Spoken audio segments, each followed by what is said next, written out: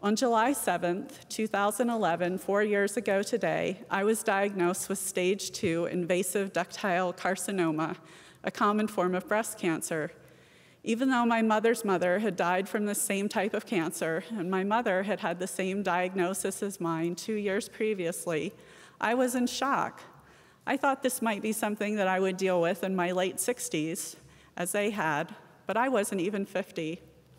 In the space of one phone call, I went from someone that I would have considered to be very healthy to someone that was facing a major health challenge. My bow had broken.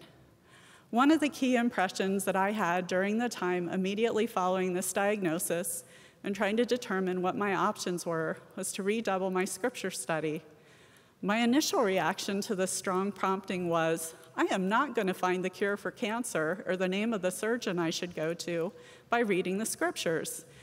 Yet as I acted on this feeling and, and read, I received very clear impressions about what I should do and who would be the best to help me in my particular situation.